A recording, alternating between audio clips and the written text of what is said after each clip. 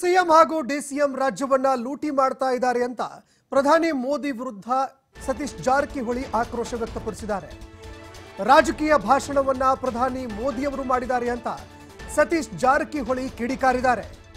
ಇನ್ನು ನಮ್ಮ ಪಕ್ಷದಲ್ಲಿ ವಾಕ್ ಸ್ವಾತಂತ್ರ್ಯವಿದೆ. ಆದರೆ ಅವರ ಪಕ್ಷದಲ್ಲಿ ವಾಕ್ ಸ್ವಾತಂತ್ರ್ಯ ಇಲ್ಲ. ಸಿದ್ದರಾಮಯ್ಯನವರೇ ಐದು ವರ್ಷ ಸಿಎಂ ಅಂತ ಈಗಾಗಲೇ ಹೇಳ್ಕೊಂಡಿದ್ದಾರೆ. ಇನ್ನು ಬೇರೆಯವರು ಹೇಳುವಂತಹ ಅಗತ್ಯ ಇಲ್ಲ. ಪಕ್ಷದ ತೀರ್ಮಾನವೇ ಅಂತಿಮವಾಗಿದೆ. ಪ್ರಧಾನಿ ಮೋದಿ ಅವರ ವಿರುದ್ಧ ಸತೀಶ್ ಜಾರಕಿಹೊಳಿ ವಾಗ್ದಾಳಿ ನಡೆಸಿದ್ದಾರೆ. ಮೋದಿ ಅವರು ಸಿದ್ದರಾಮಯ್ಯ ಅವರ ಹೆಸರನ್ನ ಪ್ರಸ್ತಾಪ ಮಾಡಿದೆ ಚುನಾವಣೆ ಪ್ರಚಾರದಲ್ಲಿ. ಮಾಡೇ ಮಾಡ್ತಾರೆ ಅದೇ ಹೊಸದೇ ಅಲ್ಲ. ರಾಜಕೀಯ ಪಕ್ಷ ಅಂದಾಗ ಆರೋಪ ಪ್ರತ್ಯಾರೋಪ ಇದು ಸ್ವಾಭಾವಿಕ. ಎಲ್ಲ ಚುನಾವಣೆಯಲ್ಲಿ ಇಲ್ಲಿ ಇದೆಯೇ? ಈ ಸ್ಟೇಟ್ದ ಅಲ್ಲಿ ಹೇಳ್ತಾರೆ? ಆ ಕಡೆ ಬಂದಾಗ ಇಲ್ಲಿ ಹೇಳ್ತಾರೆ? ಸ್ವಾಭಾವಿಕವಾಗಿ ಇದ್ದೇ ಇರ್ತೈತೆ ಸೊ ಅದು ರಾಜಕೀಯವಾಗಿ ಹೇಳಲೇಬೇಕಂತ ಹೇಳಿರ್ಬೋದು.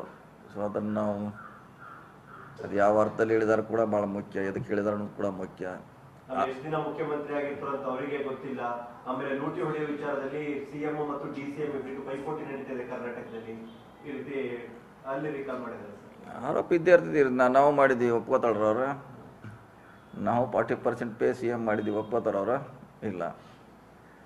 ಸೊ ರಾಜಕೀಯ ಆರೋಪ ಮಾಡೋದು ಭಾಳ ಸುಲಭ ಆದರೆ ಅದನ್ನು ಸಾಬೀತು ಮಾಡೋದು ರಾಜಕೀಯದಲ್ಲಿ ಭಾಳ ಕಷ್ಟದ ಕೆಲಸ.